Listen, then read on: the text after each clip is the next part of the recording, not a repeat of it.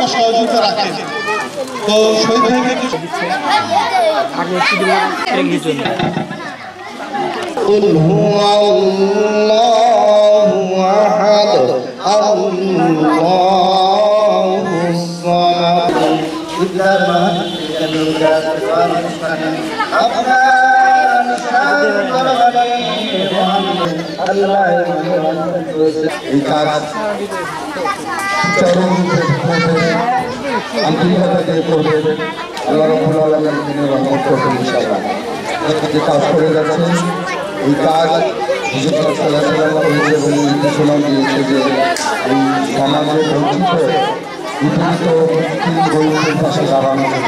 শিশুদের নিয়ে যে আয়োজনগুলো এই আয়োজন অত্যন্ত প্রশংসনীয়।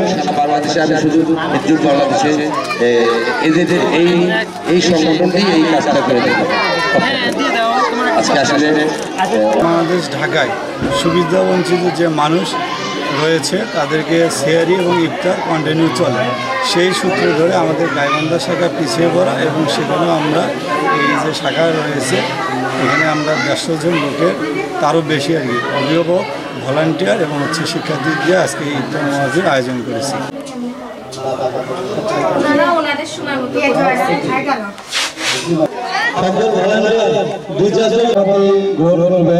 আমাদের হচ্ছে স্কুলের